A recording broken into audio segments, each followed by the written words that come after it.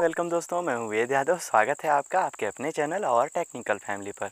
तो दोस्तों, आज हम बात करने वाले हैं, किसी भी बोरवेल का जो पानी होता है, वो कभी कभार जो है भगता है, वो आपको जानकारी में होता है, फिर भी आप कुछ समझ नहीं पाते हैं, थोड़ा कुछ अजीब टाइप से होता है। तो आज हम बात करने वाले हैं, किस टाइप से जो है पानी भगता है, उसके जो संकेत कैसे हैं, और उसका जो बचाव है, या फिर उसको भागने से कैसे रोकें, उसके जो उपाय हैं, वो हम इस वीडियो में जानेंगे। तो बने रहिएगा वीडियो के एंड तक। अगर वीडियो पसंद आएगा तो एक लाइक ज़रूर दे दीजिएगा। इससे मेरे को जो है काफ़ी मोटिवेशन मिल जाता है आप लोगों को कोई नई जानकारी देने के लिए। और चैनल पे अगर आप नए हैं तो सब्सक्राइब कर लीजिएगा। ठीक है दोस्तों? तो देखिए, पहली बात, जब आपके बोरवेल का पानी कहीं भग रहा होता है तो मोटर अगर चल रहा है या फिर नहीं चल रहा है, अगर किस, दोनों कंडीशन पे पानी भगता है तो एक आवाज़ सुनाई देगा जो अभी मैं थोड़ी देर में जो है वीडियो प्ले कर रहा हूँ। उस टाइप के आवाज़ जो है आने शुरू हो जाते हैं। ये देखिए आवाज़, सुन लीजिए थोड़ा सा।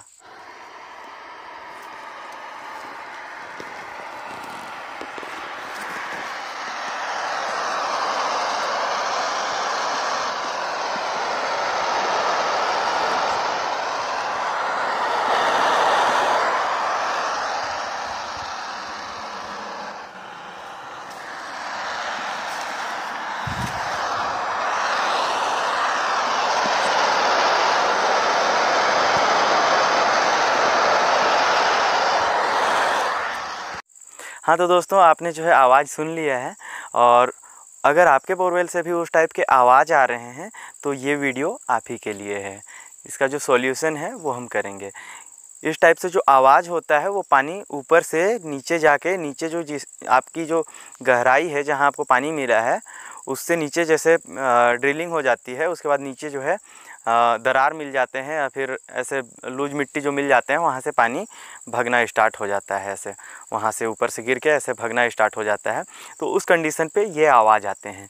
हो सकता है आपके बोरवेल का पानी कम भग रहा हो तो जब आप मोटर चालू कर रहे होंगे तो जब मोटर चल रहा होगा, उस दौरान जो है इस टाइप के आवाज़ आपको सुनने को मिलेंगे, जो आपने सुना अभी पहले वीडियो पे। तो मोटर अगर चल रहा है तो इसका मतलब आपका पानी कम भग रहा है। मोटर चलने के दौरान अगर ऐसा हो रहा है तो।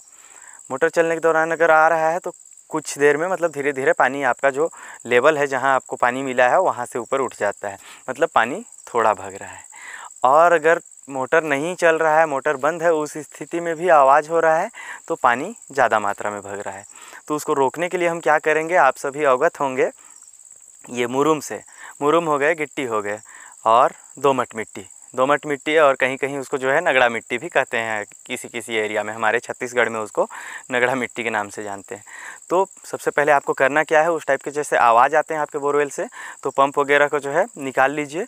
उसके बाद क्या करना है आपको, आप गिट्टी डाल सकते हैं पहले उसमें। उसके बाद अगर आपके पास गिट्टी अवेलेबल नहीं है तो मुरम डाल सकते हैं, क्योंकि मुरम में जो है काफ़ी मात्रा में मिट्टी भी जो है मौजूद होता है।